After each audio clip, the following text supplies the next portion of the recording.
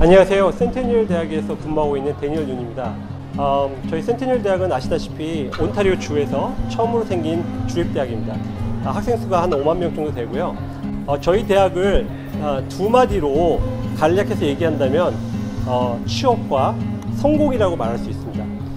아, 여러분들 어, 센테니얼에 오셔서 여러분들이 펼치고자 하는 꿈을 어, 준비하시는 저희 대학에서 준비하시는 여러분들이 되게 원하고요. 꼭 성공해서 이 캐나다에서 잘 정착하는 그런 모습을 저희들은 보기 원합니다.